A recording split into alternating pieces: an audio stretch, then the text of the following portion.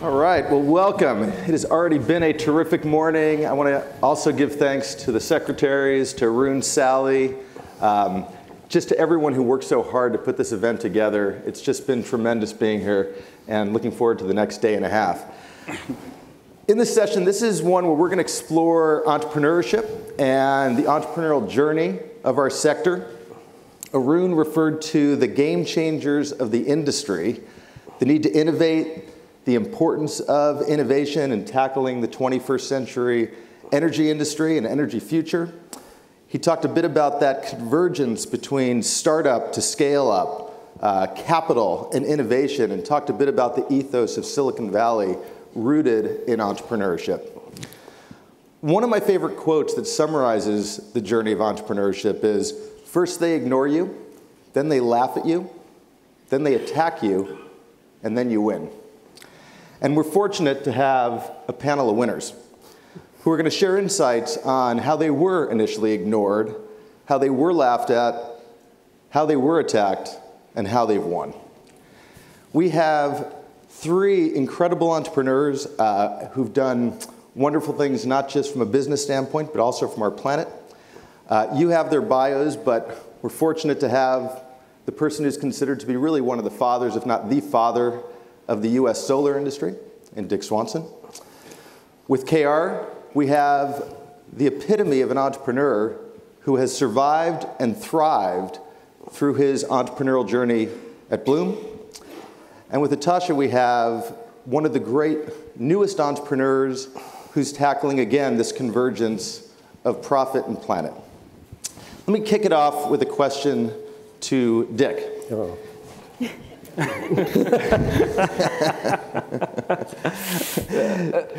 Dick, I talked about this, this quote that epitomizes the journey, yeah, and, yeah, and yeah. what trips off the tongue today as we, as we think about solar, as we think about uh, SunPower, as we think about the success of your career, um, it'd be great to hear about uh, the journey in that context. You know, today we think about solar as booming, over 250,000 jobs in solar, uh, more than double the number just as recently as 2012. Again, today as we think about solar, it's quite different from when you started. Talk a little bit about this, uh, this journey you've been on. Oh boy, uh, thanks Ira, appreciate that. Um, I think um, well, I think the key was, from my perspective, was to recognize early on that we needed renewable energy, you know, and that was that sort of vision sustained me through all the laughter mm. and ridicule and that sort of thing, because we had. Um, our mission at the time was to take a factor of 200 out of the cost of solar cells. And give folks a context. When you say at that time, when was that? That was in uh, 1973. Right. Mm-hmm. And uh, so that's a big job, but um, I came from the microelectronics industry at the time, which I felt was beginning to mature. And when I got excited about solar and started going to solar conferences, I saw the enthusiasm of the people uh, for the mission mm-hmm. that was very energizing, and that enthusiasm is still here today, I think. Uh, so I really got drawn in by that, uh, that enthusiasm, uh, which sustained us over the years as we uh, whacked away at that factor of 200. And just give uh, folks, I mean, we, we know, now know it as Swanson's Law. Uh, Which have, is a misnomer, by the way. Tell us about that. tell us about that. Well, it, and th- this was not actually a law by Mrs. Swanson, was it? Uh, no, there is that one, but that's okay. not the one you're thinking of. yeah. Um, so uh, the history of learning curves is, is very interesting. I first learned about it from Paul Maycock, who had been tapped to be the, the Secretary of Energy, DOE, uh, it, right when it was formed. Mm-hmm. And um, he he came from the chip industry where the, where, uh, the, uh, the, the, power of learning was very well established and known, right. and took that methodology over into PV. Um, it should be by rights called Maycock's mm-hmm. law. I think the reason that uh, it, my name got stuck to it is I talked about it till the audiences were asleep and, and totally ready to uh, shoot themselves from hearing about it so much. So let's move to KR. KR, you know, entrepreneurs tackle so many issues and challenges along the way. And uh, in your case, one of the tensions you've had is this tension between ideology and innovation. And it's this, uh, it's this notion of really tackling the war on carbon. Folks who say it can only be done, and the only acceptable, acceptable answer is an 100% uh, renewable energy side. And on the other hand, you have pragmatists who talk about, about a more balanced pathway uh, forward. How do you see this, and tell us how you've navigated the issue at Bloom? That's a great question, Ira, but first and foremost, uh, Ira didn't introduce himself as we started the panel. Uh, in the clean tech industry, as it went through the curves, the, the tourists came and left after the initial people came. You, you came in initially, you saw the tourists come and go, you continued on sustainability. Thank you for doing that. That risk capital from people like you is what make entrepreneurship in this field happen. So thank you. Thank you, Karen. Uh, and to Arun, Sally, the secretaries, thank you so much for organizing this and having us. So to your question on renewable versus fossil, that's a great way to put that because unfortunately, electricity, which is so complex and which has so many different dimensions, has been somehow categorized as black and white. Mm. And it's become a wedge, you know, it's become a wedge issue in this country. Okay, right versus left. Mm. And the reality is, let's just pare it down into the fundamental drivers in our society. Energy has a moral and ethical dimension that we should talk about. Mm-hmm. It has an economic dimension. It has a security dimension. Uh, and it is also incumbency and a scale issue with technology and progress. So you put all this together, it's an extremely complex issue. The moral and ethical questions, which is where I started my journey, was to look at the map of the world and say there are more people on the planet today without access to electricity than when electricity was invented. 135 years ago, we had the grid. Today, there are less people with access to the grid than when that happened. Mm-hmm. That's an ethical issue, that's a moral issue. That's an access issue. There's another 1.5 billion people that don't have affordability. And in a digital world, not having access and affordability to electricity is not having access to a future. And that's a security issue. It's a global security issue if you want to think about the number of people. And then you take on that, we're living in a post climate change world. Let's not talk about climate change is coming. We're living in a post climate change world. The 100 year, the 100 year hurricanes are happening three times a year. We shouldn't be calling them 100 year hurricanes. Mm. Our forest fire season is going from four months to eight months here in the West Coast. The, uh, so in this post-climate change world, how do we build resiliency to an electric grid? Because if, chances are if you're in a hospital and you're getting a complex surgery without electricity, that surgery is not going to go well. It, it affects every part of what we do. So our war is against time and against carbon dioxide. And that war can be, if, if it is against time, every possible way from conservation to reducing the footprint of the fossil fuel that we use in terms of carbon to renewables. It is an and, and, and. It's all of the above. It cannot be one or the other. And unfortunately, it has been polarized, and all parties, all sides have sufficient blame for where we are as a country in dealing with this issue. And you've been very successful, though, in being a bridge in many ways and actually trying to navigate those two polarized sides. Just talk a bit about how you've done that. Uh, so, if you look at it's, it's education, mm. and it's about value proposition. The education is the reason people cannot breathe in Shanghai and Delhi is not CO2, it's criteria pollutants. Mm. It's NOx, it's SOx, it's particulates. we have a solution that can be put out there and give zero carbon, uh, sorry, zero NOx, zero SOx, zero particulates. Yeah. We can reduce the CO2 footprint significantly with our technology because of the efficiency and the lack of transmission distribution. We can also get it to zero carbon using a biofuel. So about 20% of our uh, install base uses biogas from bio waste, and therefore on a cycle basis, it's zero carbon. On top of that, we have a technology to capture carbon almost for free so the sequestration can happen. So we are zero carbon ready. There is no willingness to pay at this point in the world. So when we educated across the board of you can take a fossil fuel and have an opportunity to zero carbon mm. using a solution like what we have because we don't have the nitrogen dilution.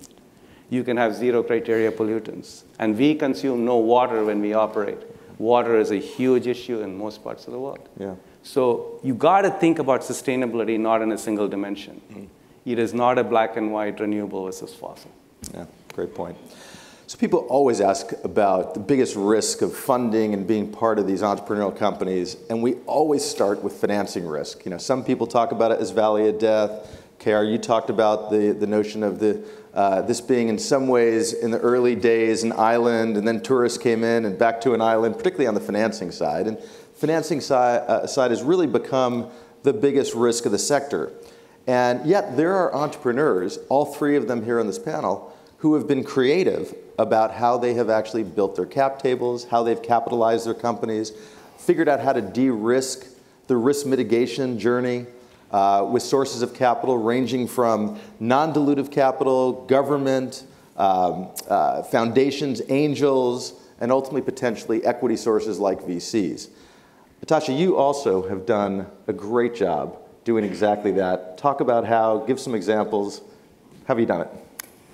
Yeah, first of all, I want to say how honored I am to be on this panel amongst these titans of uh, clean tech entrepreneurship and clean tech investment. We're honored to have you. Yeah, thank you.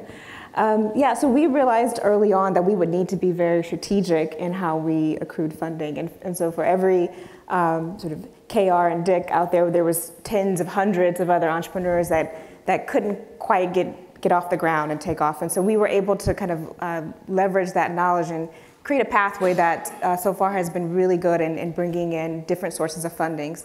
So we started off with philanthropic sources. So in fact, our first um, funding uh, to support this project was through the TomKat Center here at Stanford. Mm -hmm. So that was funding to build our first prototype.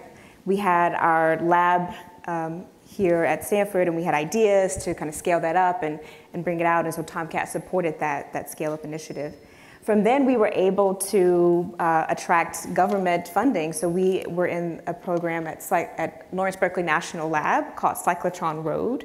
And that was a two-year program where we got... For those who don't know, explain what that is.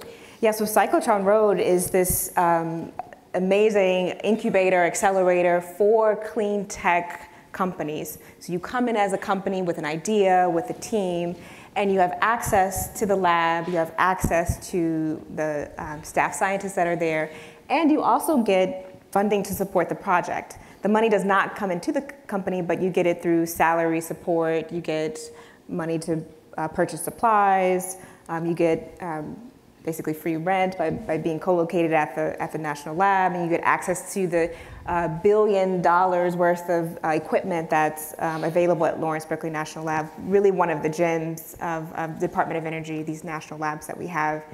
So within that program, we were able to really bring in a top team and really build our prototype and really show that we could uh, advance this technology quite significantly.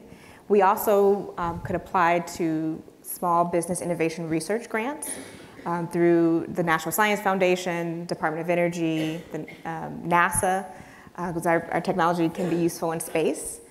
And, and once we have this government funding, and we and then again could just really um, improve the performance um, and show that we can actually build this, we then were able to attract uh, private equity. So we were able to attract uh, first angel investors and then family offices. And, and lately we've been bringing on institutional investors into, um, into the mix of, of our financing. And what's been really great about this is that we, we see these three financing sources as kind of three buckets. And we still actively go after each one of those buckets. And so the first bucket being philanthropic funding, which really keeps us focused on our mission, really reminds us the impact that we want to have as we grow and scale up our company. Then the bucket of government funding, um, that gives us really great um, feedback on the technology. It forces us to really think about our technology development plan and gives us uh, peer-reviewed comments. And then, of course, institutional investors really, of course, keep us focused on our commercialization and thinking about how we're going to navigate um, the economics of bringing our technology to market and making sure we're always thinking about kind of a profit-driven approach and making sure we're going after the lower-hanging fruit. So each of these three buckets create this really nice ecosystem that really is there to support us as we navigate this sort of clean tech field. And maybe just to put some specifics on it, you've basically gotten a one for one leverage on the non dilutive capital as you've built this company so far. That's right. We've, we've attracted uh, close to 20 million um, mm-hmm. in our, into our company, and so it's been a mix of these three sources. Yeah. It's, been... it's great. So the newest uh, successful IPO and newest successful uh, entrepreneur in our sector who's just gone public is sitting up here with us. Uh, KR's journey is inspirational in so many ways. Uh, first and foremost, I think of just that tenacity and perseverance and riding out those tough times in our sector over the long journey uh, that it often is. These are companies that are building real companies and not quick flips as it sometimes gets categorized by other sectors in this region. And KR, you have figured out a way to, uh, to navigate through those challenging times, come out the other side with this great IPO recently. And I've heard you speak many times about the lessons and learnings that you impart to other entrepreneurs along the way. Give us a sense of some of the lessons that, uh, that you have had. Um, lucky is extremely important. Luck is extremely important. Let me just start with that. Hold on, hold on. Thank you. Unfortunately, you don't control that. Uh, so uh, it's something you hope for, and hope's not a strategy. So outside of that, what do you do, right? Things you can control. Um, I would say, uh, in our case, I, you know, I can just speak very specifically to our case. Uh, we had a extremely aspirational mission. Uh, that for a company starting out there, looking at the sector, of a multi-trillion dollar marketplace. And to have the audacity or the stupidity to say, our mission is to bring clean, reliable power to, that's affordable to everybody on the planet. Right? You said the laughable, all that stuff. But it, there is sincerity to that mission. It is put out there every single day we stare at it. Every single day when we come to work, no matter what the ups or downs, we keep asking, are we inching forward towards that goal? And we never forget that, every employee in the company. That mission is ingrained in us. Mm-hmm. I think having something that strong, that is well beyond the profit and loss, that's well beyond the everyday stuff, uh, is essential to be able to weather through the ups and downs. So, you know, that's one. The second thing is with any new technology in a field like this, there's a technology learning curve. Mm-hmm. And there's a cost curve that goes with that technology learning curve. And things that you do when you start are absolutely unaffordable for most people, and it seems so incongruous with the mission of where you are. But the key is do you have a roadmap and a pathway? Well said. And uh, just like the first cell phones, were carried by the CEOs and Hollywood stars at $5 a minute, and it barely worked. The first great cars were owned by the people who did not need that car because half the time it sat in the garage. Mm-hmm. Right? So that's your early adopter who is willing to stick with you and learn, and along the way comes your technology. So at every step of the way, you need to ask do you have a value proposition? for a customer? And will that pathway help you survive today and give you enough time today to work towards your longer term future? Time and capital. Talk a little bit about you have successfully managed to actually figure out how to track the capital uh, to bridge that gap and to get you along that cost curve. Maybe just say a few minutes about that as well. Yeah, so um, the first few rounds of funding for Bloom came from venture capitalists on Sand Hill Road. Mm-hmm. And um, here, uh, people think when things are going badly, it's a bad time to go pitch a new idea. I would say it's exactly the opposite. Mm-hmm. The dot com bust had happened. Uh, the VCs were cleaning up and not investing in anything new. Yeah. So I went and said, I'm sure you don't know the difference between energy and electricity. I'm sure you don't know the difference between kilowatt and kilowatt hour. That's a winning pitch. yeah, that's a winning pitch. I'm going to educate you, but, but the impact of investing in this field and the market size and what yeah. you can do is very large. And can I get you interested in a new field? They're willing to listen about a new field because the fields that they've been investing in are not doing that greatly. So yeah. it was a great time for us to be able to go make that pitch, right? And we could get started. Uh, but along the way, what we realized was the kind of money that we were raising in every round was about the size of an entire venture capital fund and not, a, not a venture capital investment. Mm-hmm. So we needed to go beyond, beyond that. We made a uh, higher level decision that we are not going to go to one single strategic industry partner because that's going to inhibit us from that long term mission and that big aspirational vision that we had. So we wanted to stay true to that. So I sat for days thinking about it, and a little light bulb went off, which in hindsight was very simple. What about all the pension funds and the sovereign wealth funds? Mm-hmm. They have the long term vision. They want money to be coming in an annuity basis over long term. Yeah. So we went and directly started pitching to them, and they said, We don't directly invest in companies. I said, that's always the first time. I know you don't, uh, but shouldn't you be? Mm-hmm does this not align? And that's where we went to the next round. And at some point in time, you have to grow up and you know be accountable. And here we are, being public, and I'll tell you how it went 10 years from now. Congratulations. Dick, you, you are uniquely qualified to answer the question that we all get asked all the time, which is well, give us a sense of where we are today in terms of being an energy entrepreneur. What kind of time is this to invest? We, of course, think of this as a renaissance time at our fund, but given your history, well, give us a sense of what it's like today yeah, uh, yeah, and put it in some historical framework for us. Well, I, am glad you feel that way, Ira, because I do also. I think um, today is probably the most exciting moment in the sector. I mean, we have renewable energy at maybe 1% of the energy globally. Um, we need to get much larger. And how to do that is a huge monumental task. I mean, uh, certainly Arun outlined a lot of the barriers to that. Uh, but it's going to require the creative thinking of, of the global community um, about taking that 1% and making it uh, 50, 80, 90, probably eventually 100 mm-hmm. uh, within a century. Uh, so I think, you know, the challenge of that is so exciting and, and monumental that I also wish I was a young student right now getting into it. You know, one of the things that we at DBL, we spend a lot of time uh, thinking about when entrepreneurs come to pitch us is trying to figure out, is someone trying to tackle the entire ocean day one, or have they really figured out a way to risk mitigate over time? And one of the strategies is focusing on core strategic differentiation and leveraging what you can, infrastructure around you, uh, in the early days, even if over time you may want to build uh, more end to end.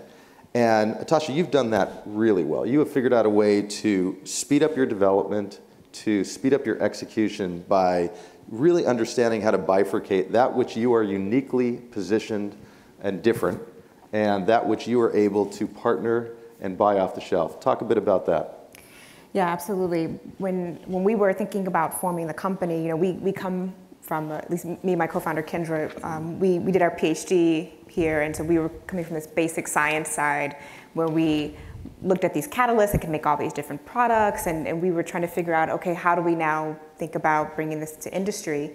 And, and again, hearing of, of stories of, of other entrepreneurs, um, we realized that trying to build the entire reactor, all the pumps and and, and the firmware that would go around this, this system that we would need to build would really be very, very expensive. We'd have to bring in a diverse group of team. And so we, we asked ourselves, okay, what is the thing that we can uniquely do? Like, what is the enabling part of this whole technology? And then can we find a manufacturing partner who has already um, you know, built the manufacturing floor, already has the expertise in uh, designing the system. And uh, luckily enough, um, there is a manufacturing partner in the East Coast in, in, Connecticut that builds these systems that we can basically be a drop-in component to it. Mm. So we focus on the electrode that goes into these reactors.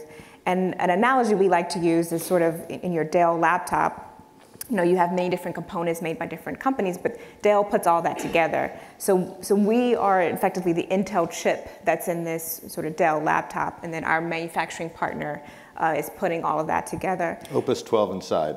Opus 12 inside. Okay. Yeah. that's right. Um, so this allows us to get to market a lot quicker. We don't have to uh, uniquely hire different people to, to build this system. And so we're, and, and we can also think about scaling up and we know what our costs will be and, and, and this kind of thing. So it's been a really great uh, leveraging tool to leverage these decades of, of engineering that's already gone into these systems. You know, one of the things as we think about this entrepreneurship panel and we get asked this question of, well, why now or why is, is it a renaissance or why are we so excited? It, it does come down uh, to what we think is the most fundamental barometer of where we are, and that's human capital. We're just seeing extraordinary entrepreneurship. We're seeing experienced executives who want to make the next chapter of their personal, professional lives. And we're seeing the younger generation, uh, as represented here on this campus and many others, who are tackling energy in ways we just haven't seen before. And KR, you have spent a lot of time focusing on the human capital side. And I, have heard you talk about the importance of how you've built your team. If you can actually spend a little bit of time talking about that, maybe we can just go down the line after you speak and, and hear about this human capital element and the importance of that to the sector. So very early on, we said the single most important resource or the competitive advantage or the secret sauce for Bloom has to be the people that walk in and out of the door voluntarily every single day. It's the, it's the human resource. We made that a core way of how we think about stuff. So we use this phrase, uh, I don't think we invented it. Maybe we heard it somewhere and we, we happily copied it and used it, which was gene pool engineering. We were going to gene pool engineer our workforce. And we asked, what are we gene pool engineering for? And it's value set, mindset, and skill set. Skill set is easy. I'm not going to describe that to you if you don't have the right skills you know, you're not even going to come for the interview, right? Um, so somebody's going to filter that. Uh, the mindset and the value set became extremely important to us because we knew it was going to be a long journey. Mm-hmm. In Silicon Valley, we talk about sprints. Next one year, I'm going to put everything on hold and get this company to this point, sell it to somebody else, and then I can take my vacation, right? Smell the roses. That's a sprint. Some are marathons. We knew when we started the company, this is a Tour de France. okay? They're going to be sprints, they're going to be marathons, and it's going to go on for a long time.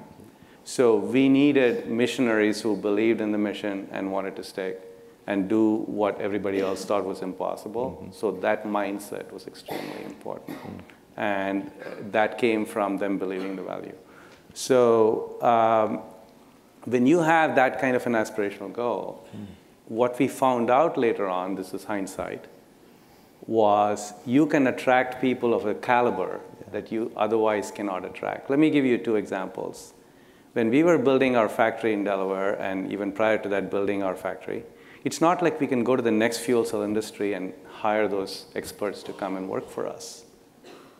So I looked around everywhere to see how can I bring somebody who knows a lot about manufacturing, and I know nothing about it, or I knew nothing about it, and uh, teach us, but also adapt it for the Bloom way of doing it.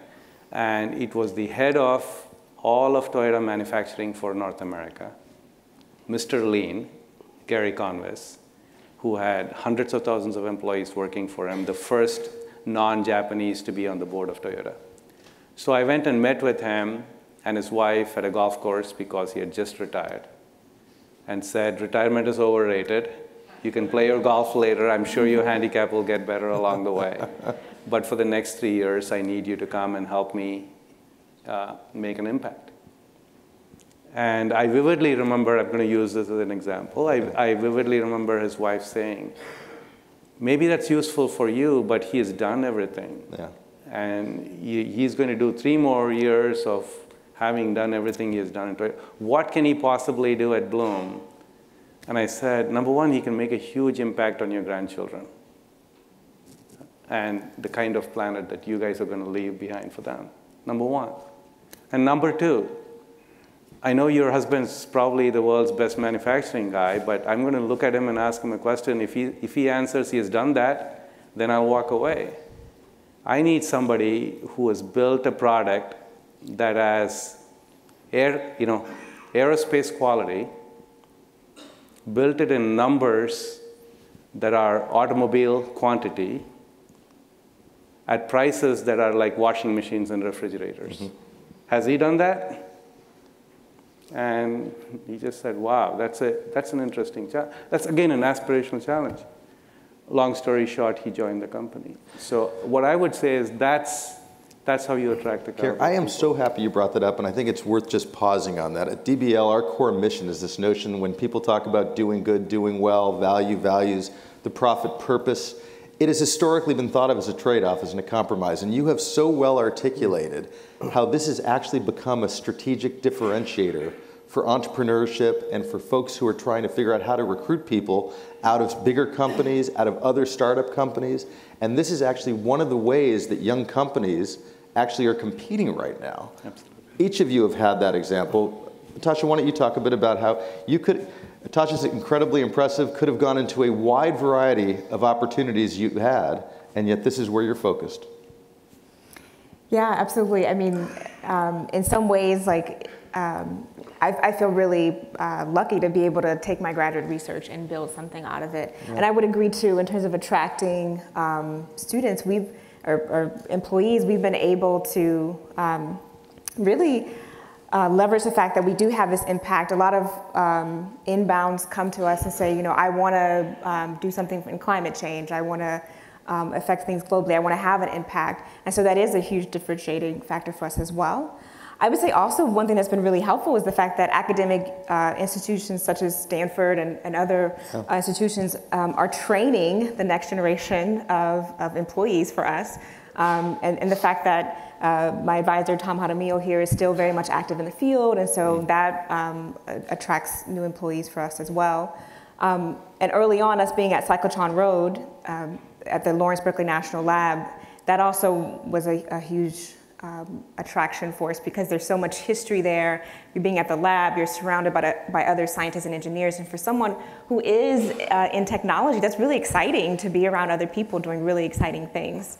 So uh, we've been able to hire a very top notch team of, of scientists and engineers uh, because of, of the impact and where we're at. But maybe before leaving the topic for you, Dick, you know, we always talk about the migration of great talent from other sectors, other sectors here in Silicon Valley that are now coming into the energy sector for the first time. And many of the folks at SunPower and even Tom Werner himself, mm-hmm. a great example of that. Talk about how the human capital evolution has, has changed since the early days to today. Yeah, interesting question, Ira. I, in the early days, I think we didn't have such a codified uh, uh, procedure for uh, judging people, but uh, I think it was the vision that attracted people uh, and kept people there. And, and the key is not only to attract the best people, mm-hmm. but to keep the team together through all these ups and downs yeah. going on. And uh, as you go, so I'm, well, for one thing, I'm really proud of the fact that uh, four of uh, my early students and employees um, have won the top prize in photovoltaics uh, that's offered every year, the Cherry Award. So uh, we did have a good founding team, but we didn't have manufacturing expertise. Mm-hmm. And it was when uh, Cypress Semiconductor got interested in it. Mm-hmm. That was sort of the next huge break for us. Uh, we realized uh, we all were academics. We had, you know, mainly made one device at a time, published a paper, and put it in the drawer. Mm-hmm. And, and Cypress got very uh, excited mm-hmm. about the challenge. Mm-hmm. I mean, it, Credit it was, to TJ. TJ. TJ Rogers, but not, and of course he led the, the parade, but it wasn't just TJ, it was the whole staff of Cypress. Mm-hmm. We would go, he would have us meet with their manufacturing engineers, you know, and they would say, well, how do you make your solar cell? Uh, you know, what's the, what, what's the uh, design rule, which is sort of a chip jargon for how big things are. And we said it's 100 microns, but we've got a roadmap to get to 50. And they said, no, you mean nanometers, right? Mm-hmm. No, microns. And then they laugh, and then they say, well, how many mask levels does your device have? And we say, well, 3 mm-hmm. And at that time, CMOS chips they made had 21 or something, and then they'd laugh again about how simple this all was. and then they'd say, uh, and how many wafer starts do you want to do? And we'd say, well, our first full factory is going to be a million starts a day, mm-hmm. a million wafers a day. And you know, they'd get this sort of shocked look on their face and uh, say, You mean a million a year, right? No, a million a day. And that challenge mm-hmm. just sucked their entire engineering uh, effort into it. In fact, we rated them shamelessly, our manufacturing people we pulled out of Cypress, for example. And they just, they just ate up that challenge and, and uh, got tremendously motivated by it. That's great. So we'd be remiss not to take advantage of the wisdom on this panel and end with a key question. Um, Arun and Sally, when they invite all of us back to the 10-year reunion here in 2028, and we're talking about the state of play at that time, give us some prognostication. As we are back for the 10-year reunion, how will innovation and entrepreneurship have changed the future of energy at that time? Let's start with Etosha. Yeah, I think um, it was mentioned earlier, there's this renaissance of clean tech entrepreneurship. I think that the ecosystem is building, and, and, and I, I'd like to see more and more um, graduate students going and creating companies and, and building new, new solutions. i I, would, I would say in 10 years, we'll see more um, IPOs, more um, early stage startups, more new ideas, um, just a very rich ecosystem in the, in the way we see kind of new software companies, we'll see new clean tech companies coming up?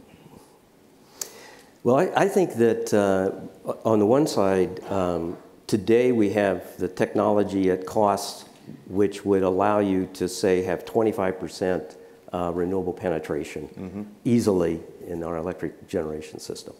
Uh, to get our aspirational goals of over 80% or so, we what, by the way, what I mean by that, Ira, is that if you were going to build a uh, utility today, mm-hmm. okay, the cost, most cost-effective solution would have 35% of the energy coming from variable renewables, the rest coming from natural gas, flexible natural gas sources, with a big chunk of batteries. Right. So, to get beyond that 25 or 30%, um, we need to maybe take the cost of batteries down by a factor of 20. So there's a, you know, the experience I had in bringing a factor of 200 out of PV makes me feel that that's, that's a doable thing, and I would challenge the community to do it. I think it can be done. Uh, we need to take a little bit more out of the cost of PV, but it's largely, largely there. And once we've done that, which may not happen at the 10 year reunion, but will for sure by the 20 year reunion, we'll be set to essentially transition to 80 plus percent variable renewables. Sally, when I heard that was a request for an invite to two reunions. uh, I'm going to start at it from the other side. At the end of the day, any industry exists to serve its customers. 10 years from now, what are the customers going to demand and what, what is it going to look like? I would say from 10 years from now, for most commercial industrial customers, for the first time in the history, their electricity is going to be customized to their needs. Electricity is going to see personalization like digitization and telephony saw personalization from a one size fits all grid to a personalized solution. There are solutions that are going to require DC power, AC power, low voltage, high voltage, different phases. There are solutions that are going to ask for 100% carbon free. There are going to be some that are going to be highly carbon free, but not 100% carbon free. There is going to be uh, being able to follow the peak. There are going to be solutions that are going to ask for resiliency and reliability that are significantly higher than what we have today because critical infrastructure uh, not having power and the potential for cyber attacks and man-made attacks and natural disasters. Mm. There are so many different reasons in addition to sustainability mm. that the customers are going to demand a different solution. And that demand of personalization can only come with distributed coexisting with the centralized. It is not going to be which one is going to win 10 years from now. It is always a hybrid solution at the end of the day. We have not lost our mainframe computers. They're called data centers. Okay? It's that hybrid. The reason the personal phone is really good is because it can speak to that data center and do something for us. It's that hybrid solution. So I think there'll be microgrids and milligrids connecting to the macrogrid the microgrids and milligrids will provide personalized solutions for neighborhoods, businesses. That's where it'll be 10 years from now. The, the, great Alan Kay, I thought, gave the best advice on this notion of prognostication when he said the best way to predict the future is to invent it. Now is clearly our time to invent the future of energy. Thank the three of you. Thanks to everyone here at Stanford, and thanks to so many people in this room who are indeed inventing the future of energy. Thank you.